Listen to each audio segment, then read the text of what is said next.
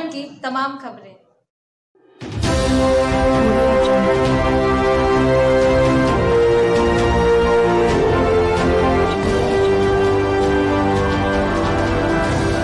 नमस्कार, आप देख रहे हैं सिटी न्यूज़ और मैं हूँ आपके साथ छवि। लातेहार ज़िले के बालूमाथ प्रखंड स्थित मिशन मोड़ के पास रांची चतरा मोड़ में एक बाइक सवार मनराज उराव पिता, जागे उराव 25 वर्ष ग्राम चतरपुरा बालूमाथ को अज्ञात वाहन ने टक्कर मारते हुए निकल गई।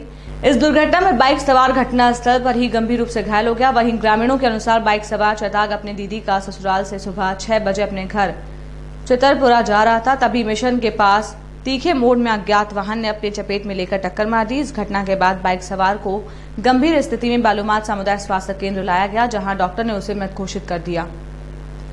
इस घटना के बाद परिजनों का रो रो कर बुरा हाल है। वहीं पुलिस ने शव को पोस्टमार्टम के लिए लातेहार भेज दिया है।